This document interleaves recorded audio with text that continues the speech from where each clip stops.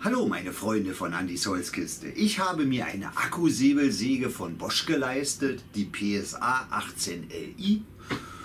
Und wenn man so die normalen äh, Produktbeschreibungen sieht, dann stellt man immer wieder fest, da wird nur getestet in der Werkstatt. Eine Akkumaschine macht für mich allerdings wenig Sinn, wenn man sie in der Werkstatt testet, sondern äh, ist es ja eher dafür gedacht, dass man keinen Stromanschluss gerade zur Verfügung hat oder dass man schwer zugängliche Stellen hat, wo ein Kabel behindern würde. Und wenn euch das interessiert, wie ich das teste, dann bleibt dran.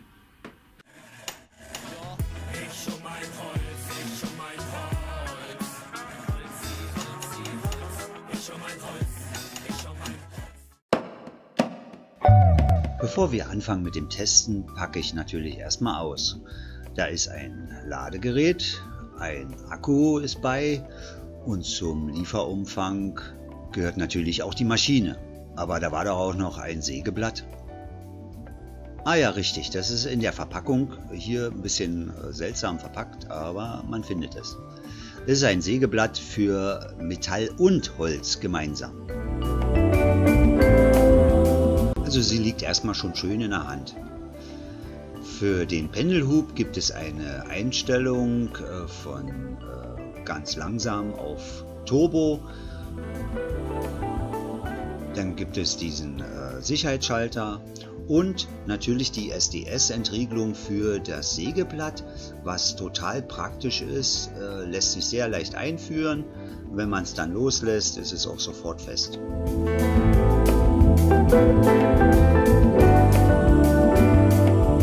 Der Akku wird einfach nur hinten aufgeschoben, total einfach.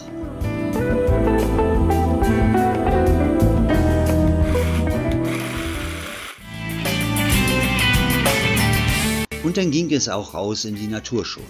Ich hatte die Möglichkeit beim Nachbarn die Korkenzieherweide zu fällen und das ist natürlich ganz praktisch, wenn man mit seiner Säge mal was austesten will.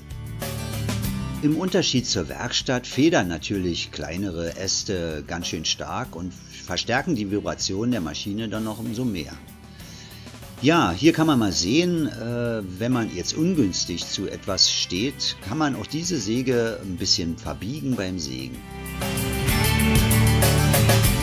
Zwischendurch wird immer alles schon äh, klein gemacht in Kaminholzlänge.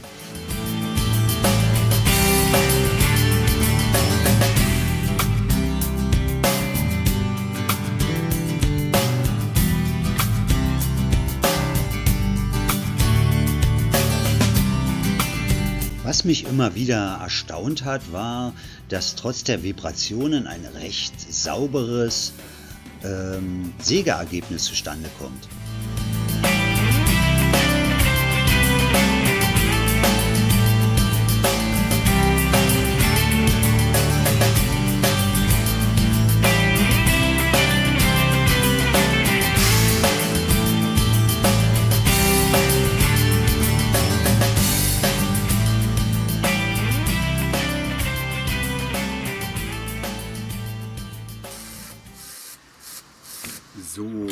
Man sieht, ich habe den Baum nicht ganz geschafft mit dem Akku, ähm, aber es hat sich bis dato ganz gut gesägt. Die Vibrationen sind natürlich da, ist klar, aber das hat sich gar nicht so schlecht angefühlt. Jetzt werde ich mal gucken, wie schnell ich äh, diesen Akku wieder aufladen kann und äh, dann schauen wir mal weiter. Ja, man sieht ja an dem Haufen, es ist ein ordentliches Sägeergebnis zustande gekommen. Ähm, zweieinhalb Stunden oder zwei Stunden reine Sägeleistung. Dann dazwischen eine Stunde aufladen und dann ging es weiter mit dem Akku. Ähm, ich sage mal bis zu 15 cm dickes Holz lässt sich ohne Probleme damit schneiden. Man sollte dann bloß ein Sägeblatt benutzen, was für Holz gedacht ist. Aber ansonsten ein super Gerät für draußen, wenn man keine Möglichkeit hat, Strom zu benutzen. In meiner Bastelwerkstatt, da habe ich noch viele Einsatzgebiete für diese Säbelsäge gefunden. Ich mache damit zum Beispiel auch hier super fein diese Rinde ab von diesem Holzklotz, weil sie sich natürlich auch biegt und ein bisschen flexibel ist, lässt sich das hervorragend damit arbeiten.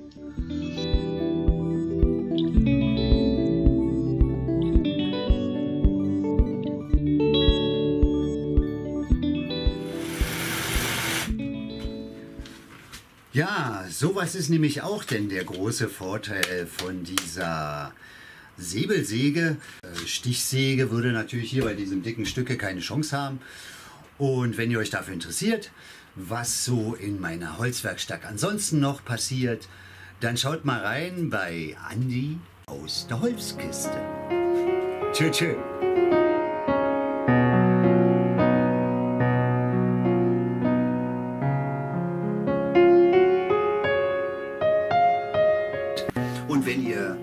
Viel Spaß dabei hattet und viel Lust auf mehr bekommen habt, dann könnt ihr mich natürlich abonnieren. Euer Andi aus der Holzkiste.